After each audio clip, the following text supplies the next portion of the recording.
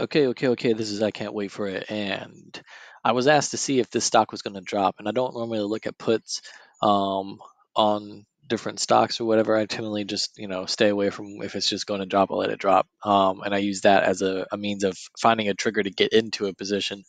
Um, however, I do know a combo that works really well um, that I'm pretty familiar with um, back when I traded futures, and I don't know. It kind of piqued my interest, and so I'm going to make a video about it um, and see if this comes to fruition. And so I got lines all over my screen, so I must apologize because that's just how my brain works. Um, and I don't expect you to understand or, or, you know what they what they all mean, but I'm going to try to make sense of it all. So this is IWM, iShares Trust Russell's 2000 ETF, and um, so to kind of give you a better picture of what is going on with the stock, it's in a consolidation pattern sitting at a high after a really high peak up. And so if I was to shrink this down, you can see basically bounce off this node and launches itself going up. And before that, it basically did a deep V, dropped down, came up, um, hit the upper, I mean, it rode the upper Bollinger Band here, and it might be better looked at on a weekly chart. Make more sense, I think, on the move itself because it's such a big move. And so this here, it hit the upper Bollinger Band here. Let me get an arrow. Where's my arrows? Where's all my stuff? Okay. All right. So we hit the upper Bollinger Band here, and then it misses it here, which is a classic sign that this is going to drop. Goes into a deep V, hits the bottom Bollinger Band, rides the bottom Bollinger Band down, works its way back inside, bounces up, comes in, hits the bottom Bollinger Band again three times. One, two, three, boom, shoots up, hits the top Bollinger Band, doesn't pass the previous high over here. So that would be three, four. This was two down here, that's one over there. So one, two, three, four, drops down, deep dive for five, and runs back up, works its way back in. Instead of going down this time to hit the bottom Bollinger Band again, like it did over here, which was on three, four, this is five, which is the spring. It launches it up, and then it does this bounce to go up, hits the upper Bollinger Band here, which I find interesting that it, okay, it did, okay, hits the upper Bollinger Band here, comes back down, creates the other handle of the cup right there, which matches the handle of the cup over here. And, well, technically it's a little this is a little high. Um, but it does it. Whatever. Boom, hits there, bounces up, and launches itself. So that's one move going out of a deep V. What we're interested in is this move right here going into the deep V. And so, so look how it hits here, doesn't touch there, drops down, hits the bottom Bollinger Band, rides it down, consolidates down here, crosses back up across the middle up to the top. Hits the bottom Bollinger Band again, though. So there's two touches to the bottom. Um, I mean, of course, there's more there, but just saying that it gaps away from it, comes back to it, touches it, hits it three times, bounces back up, doesn't pass the high, which is 3 4. Boom, 3 4. And then once it completes uh, 3 4 by hitting this upper Bollinger Band and riding up, not passing the high of the one there, it drops for five and rides the bottom Bollinger Band down. Now, it doesn't have to be as drastic on five to drop down like this. I mean, five could just be stopped right here and just taken off and gone long. But they, I don't know.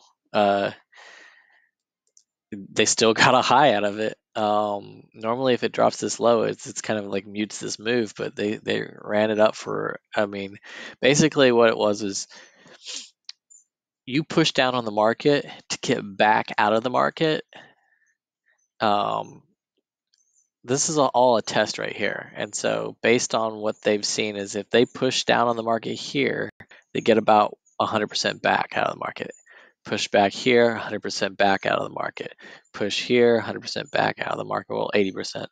Push here, 100%. Push here, 200%. Once you get that, you push down, you get double your efforts back out of the market on this move right here. This is the change of character.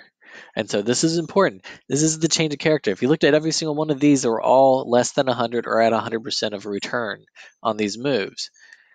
But once you got everybody on the same side of the fence, push down on the market, get double the effort or the results back out of it. Boom, boom. You know? So now it's set. The trap is set. It's ready. And so they push hard on this market right here because they've got the market primed to do what they want. They're getting double the results back out of what they're doing. So they push hard deep into liquidity, breaking all these stop losses. And everybody, they broke all those stop losses, lose all their shares, and they gobble them all up, soak them all up on these candles right here. Now that they soaked up almost 99% of the float, the last 1% of the float is left out there for retail to fight over. Well, retail just lost all their shares. They got scared to death because of this drop. And then all of a sudden they start seeing it turning around and then they, they jump in out of FOMO. And then they start pushing this thing up. They're fighting over their shares, creating this demand. And then whenever it gets to a certain point where it looks like retail's starting to fizzle out, they push down on it. They get double the result back out of it. Push down on it, get double the result back out of it. Push down on it, get double the result out of it. Push down on it again, get quadruple the result out of it. You know, and so at this point, as long as they keep pushing down and they're getting more than double out of it, back out of it, they're going to keep doing that and let it go up. And so that's what happened here is they had retail like primed. They had pre retail like just begging, yeah, yeah, I'm ready. I'm ready. Please, please take me out of my contracts. I'll jump back in. and so and this is the result. And so that is the full move. And so that brings us to now, like where we're at right now. And I've got lines everywhere. I don't even want to look at it like that. Um, ah, it's a mess. All right, so if we take the same philosophy, ideology, this was one on the weekly, one on the weekly here, misses it here, but hasn't come down for two yet. So it needs to drop down for two. And then if it does drop down for two, then this would be the deep V, the first deep V, which could be like right here where these lines cross. I mean, it doesn't have to be as drastic as the other one. So, you know, they're pushing, they get pushing to get less than half the result back, pushing basically double the result maybe there, pushing. Right now, it hasn't been so, uh, shown yet, so it's a mixed bag of pushing, but there's no dip into liquidity down here yet. So it has to come down before it can go up, anyways. I mean, it can go up a little bit. You know, it's not going to break this structure high or this high right here. Um, it's going to go up and then it's going to come back down and dip into liquidity before it runs back up again. So that's one way to look at it. If you look at it from Wyckoff point of view, this has to dip, do the major sign of weakness, and then do an up thrust after distribution, final dip into liquidity, which is the spring, and boom, it goes up. So uh, major sign of weakness be two, up thrust after distribution, and then comes back down, final dip into liquidity, which would be five, the spring. So the up thrust after distribution would be three, four. And so that's what I have up here is three, four. And then it would come back down again, do the final dip into liquidity, which would stop slightly above this usually. It can go a little bit deeper. Boom, it goes higher. And just like this last five over here where it went really deep, I mean, it could do that too. So it, it just really depends on how they how they push this. If I if you see this thing drop dramatically, you know, um, then you know they've got the market primed. So I, I would look at the the distance between this guy right here and here, and then result of this right here. This needs to come up and touch 3, 4 on the daily. So on the daily, this was the weekly we're looking at right now, but on the daily, it's already gone through a whole curve and then it's waiting to go up to touch the top Bollinger Band here at 3, 4, then do a dip and you know drop down to 5, which would be in the exact same places where 2 is here, and then uh, launch to go for a new high. So it on the daily, it has to come up and touch up here. The top Bollinger Band. Then it has to drop down and touch the bottom Bollinger Band. Then it has to go, you know, up. And so it kind of coincides with the weekly, except for the weekly just wants to go down. Um, but the the weekly we can be put off by the daily. The daily can just come up here and touch this real quick, and then drop, and then you know then it's solidifying two and five, two for the weekly and five for the the daily. I know that's a lot to take in, but um, so I've got that move written out right here, and I know it's all all over the place on top of each other and everything because I'm looking at it from a different time frame. So me switch this back to a daily. Okay, so now when you look at this on the daily,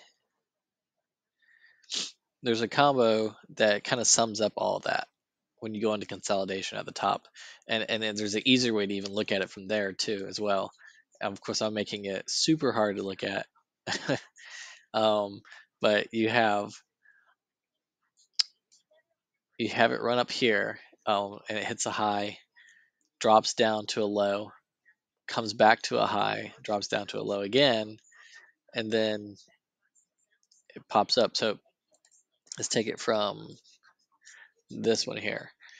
So from high to low, back to high, drops down. So up, down, up. Sounds like a code to a video game. Up, down, up, drops down again, consolidates sideways on the bottom half of this Bollinger Band right here, whereas the other ones just kind of like cross over really. They do consolidate, you know, in the middle here, but it's more like the consolidation isn't like strictly on the bottom half. It kind of is moving across this line as it's doing it.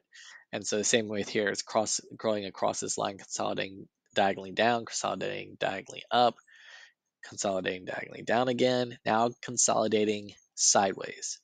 And so now we go sideways, strictly under the bottom half of this Bollinger Band right here. And then as it goes across sideways, you count the candles as it goes up to the top here to the mean. One, two, three, four, five, six, and you have this indecision right here. And then what comes after the indecision, I don't know why it's doing that, I'm sorry. What you have after the indecision is the emotional one, the one that pops. It goes, it's the it's different on, on different time frames or it could be stagnated based off of you know um, indecisions or whatever um, but the six candle plus over six seven eight in that area it's always the one that goes for a high and so you'll see like this one like a push before the pull so this one goes down they push down and then they're hoping to get double the effort back out of this candle going up and so if that's the case you know, if I was to measure this,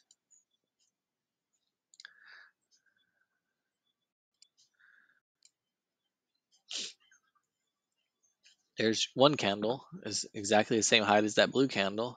They're hoping the next one goes up there like that. And guess what happens if that next one goes up there like that?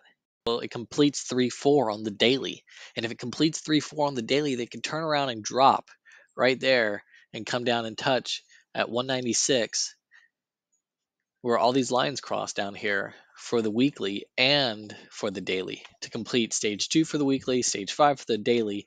And then that means that's creating a deep V. And if that's creating the deep V, that can come back up and then run for a new high after that. So you have one window of opportunity.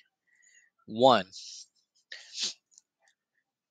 If IWM price action continues to move up today, hits 3 4, tops out at 229.96, 230 area. It might even print a couple candles going diagonally up it. But as soon as it's done printing candles going up that Bollinger Band line, it's going to turn around and nosedive straight down. And then it's going to come down and, and solidify two for the weekly and five for the daily, which is going to be in a 196 area. Um, and once uh, and that's that's it. That's that's your one shot. If it goes, you know, you got to be patient though, and you got to wait for it to finish printing three, four going up that Bollinger Band. I showed you on the last one what it could look like. It could just be one. It could just be one candle, and it could be done, and then turn around and come straight down. Or it could print several candles riding that Bollinger Band, like this right here. Here's three, four right here. It hits it one time here. Grab this arrow. It hits it one time here, and then it prints another candle and another candle, and then it prints another candle, but it, that candle doesn't touch the Bollinger Band. It's red. It's not touching the Bollinger Band. It's moving away from it. It's gonna drop from there. If if this doesn't connect to that upper Bollinger Band right there, and it finishes the candle without it connected, it's most likely gonna drop and go down from there um, on this move. And so that's what we're looking for right here. It's the same kind of idea. Is either print one candle and then drop, or it prints several candles riding the upper Bollinger Band at an angle going up and then drops. And one of them just doesn't touch and then it just drops. Um, so I know this is a lot of lines. I know it's super confusing looking. Um, and I'm sorry, but it's the only way that you can I can like actually get it all out and and make it make sense to me so I can explain it to you on what should happen. So hopefully that helps. Um, I might can't wait for it. If you like more of these combos, more of these moves and everything like that, these very price action heavy technical moves, um, I've spent nine months looking at price action, analyzing combos like this, um, moves that predict other moves uh, for 12 to 14 hours a day, nine months straight. Um, it's all I ever did. And um, so I enjoy doing this stuff. So if you've got a question like this and you want to know whether or not you think the stock is going to go up or down, just ask, put it in the comments below. Please, if you like more of this stuff like this, is like really deep technical, like combo analyzing moves that no one's really doing, please follow, subscribe. I'd love to do it. You just let me know. All right. I can't wait for it. I'll see you on the next one.